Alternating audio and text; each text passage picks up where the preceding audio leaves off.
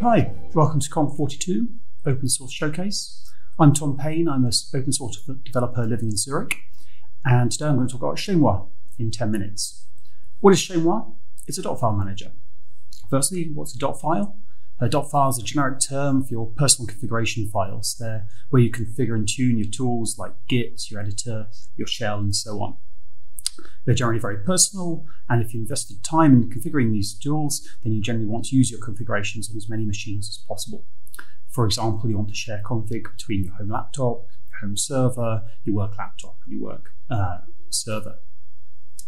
What makes chezmoi particularly interesting? Well, it's extremely flexible. It runs everywhere, Linux, macOS, even Windows, Windows services for Linux, Termux, you name it, uh, runs there. It's, uh, it supports all the sort of variations you might want from uh, machine to machine in a very easy to use way. It's very secure. Uh, it has great support for uh, maintaining secrets on different machines and making sure that secrets not, do not get checked out onto machines where they don't need to be. This is great. For example, it means that your home secrets don't get checked out on your work machine and your work secrets don't get checked out on your home machine. It's very cross-platform, as I mentioned, very easy to install.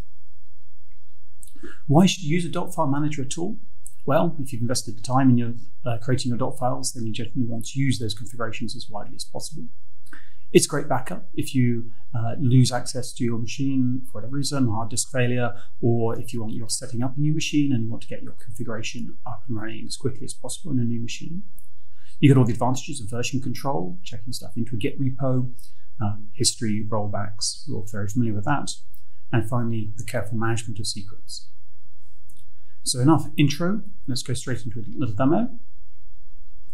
This is a Mac Mini that I've just, uh, just installed. It's completely empty, uh, apart from installing Homebrew, the machine is Virgin.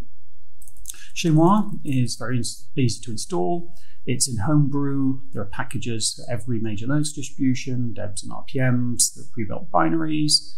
There are um, there's an online shell script install. It's very quick to get into your machine. Now I've already got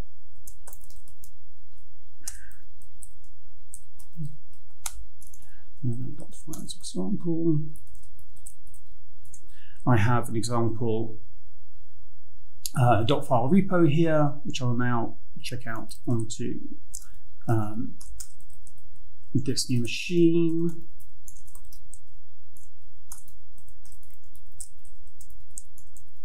There you go. This will ask you for my email, which I will give right now. It's configurable, I'll explain that later. Okay, so chezmoi's checked out the Git repo. Um, we can actually see um, what it's shown. It's here in this um, particular example. There are just a couple of dot files um, and one directory. Uh, we can now apply those changes. Well, we can see the changes that chezmoi would make first. It's going to create a git config and .netrc. chezmoi apply actually causes chezmoi to write those files. It does so uh, in a very robust fashion. And we'll see that then there's no changes and indeed the dot files exist. Um, that's not particularly interesting. Let's show um, sharing a dot file between multiple machines.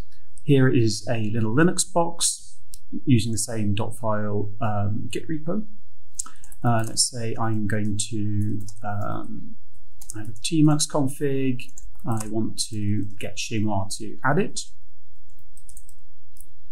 Um, this has added it to the Git repo, but not pushed it. chezmoi can automatically create commits and push them for you, but I haven't done this to show more clearly what's happening here. We can add our dot file to our reader, um, to our repo. Create a commit.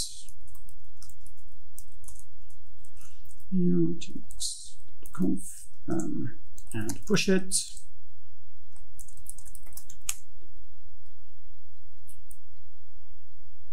There it's off on, up on GitHub. Back to my Mac now. I can pull these changes in with the chezmoi update. Um, see what has happened. And chezmoi has pulled the changes and applied them. Uh, so it makes it very easy to share dot files between multiple machines. That on its own is not particularly interesting. Uh, let's look at a more interesting example.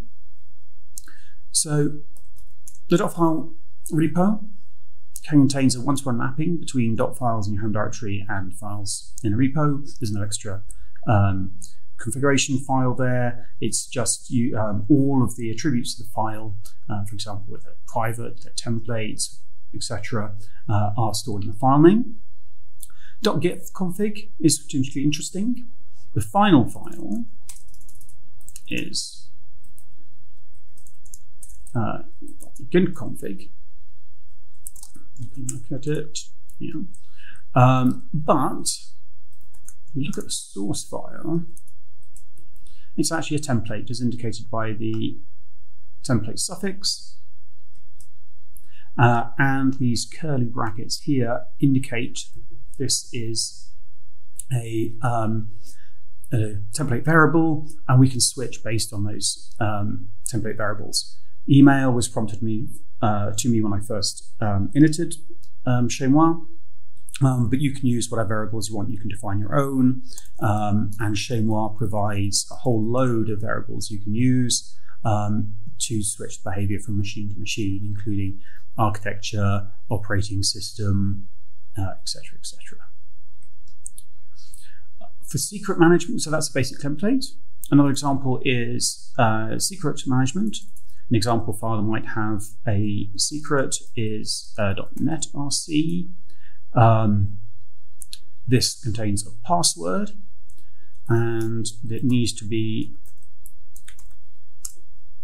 have private permissions, only the user can read it, and um, the WIS is represented with this private prefix in the source here, which means that chezmoi creates the permissions correctly, and it's a template as well. What's interesting is we have we want a password present on disk, but we don't want the password in our .files repo because everyone can read that. If we look at the actual source, actually, it's also a template, but here I'm using a magic function secret, uh, which um, in this case decodes the secret.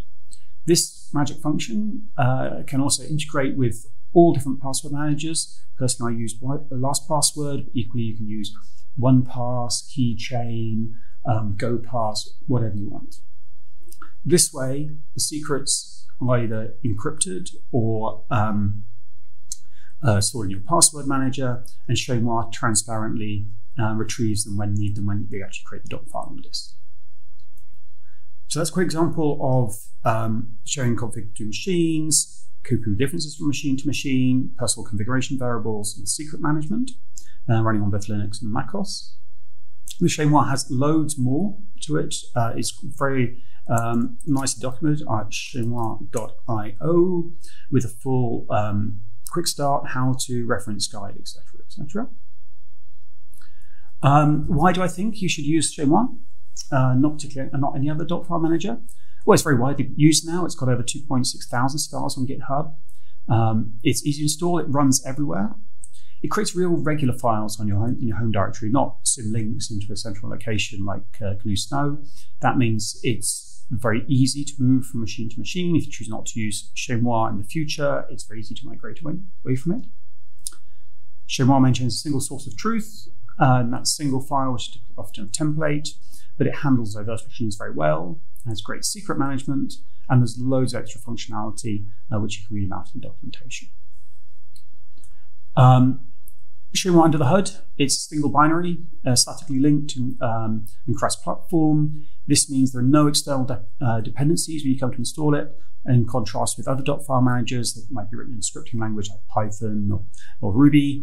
Um, you'll need to install the language runtime first before you can use the dot file manager. chezmoi, single binary, no deps, runs everywhere. It integrates very well with third-party tools. By default, you can use Git. Um, use Git for your uh, repo, but it can be whatever you want. Uh, it uses GPG for encrypting files and the password manager's um, command line interfaces. It does atomic updates of files. It never writes a partial file. Um, so even if your update process is interrupted, you don't corrupt your dot files. There's a very transparent source format. You get a one-to-one -one correspondence between files in your source directory and files in your home directory.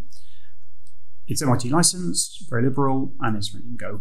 You can find it at github.com slash slash chezmoi, and the main website itself is chezmoi.io. chezmoi was written to scratch a personal itch. It's been very useful for, you, for me, and I hope it can be very useful to you too. Thank you.